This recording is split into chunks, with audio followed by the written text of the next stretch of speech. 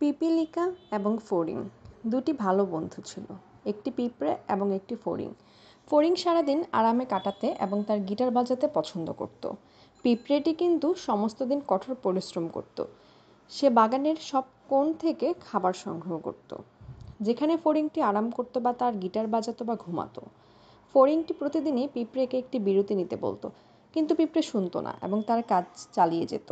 শীঘ্রই শীত এলো।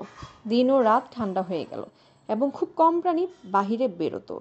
ফড়িং কোনো খাবার পেত না এবং সবসময় ক্ষুধার্ত থাকতো।